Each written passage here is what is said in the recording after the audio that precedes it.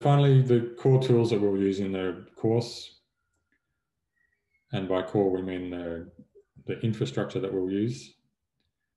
Um, well, we talked about technical support, so we use the Slack channel to ask for help. So make sure you're registered on the Slack channel. And when asking for help, it it's uh, it helps to know how to ask for help. So talk about what you thought or what you expected to happen, and then talk about what did happen. It helps us to know the versions of code and operating systems that you use and what you were doing leading up to the problem, as in the steps before where things got stuck. There's a tip here to use this service called Pastebin to drop big chunks of code or error messages in because that helps to move the uh, that sometimes an error message can be a few pages long. Using something like Pastebin gives us a link to look at whether the log files or the output is without interrupting the conversation. So Slack is the communication tool that we'll use mostly in the course, apart from Zoom.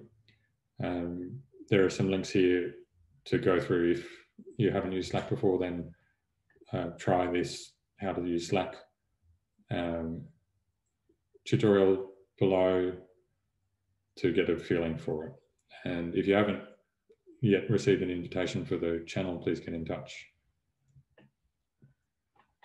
Stack Overflow is a website with lots of answers to software questions. Um, it's been around for a long time, and so something to bear in mind when searching on Stack Overflow is to check how old the response was, because sometimes the software itself that you're looking for mm. has maybe been updated, and the answers that have been proposed may not still be relevant.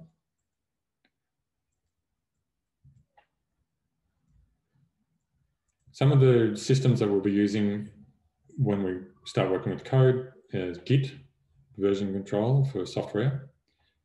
And again, there are some links here to go through interactive exercises to get some familiarity with Git. Docker is a virtual machine or a virtualization technology, which we might be using for some of the tech and again, there's a link there to practice this in your own time.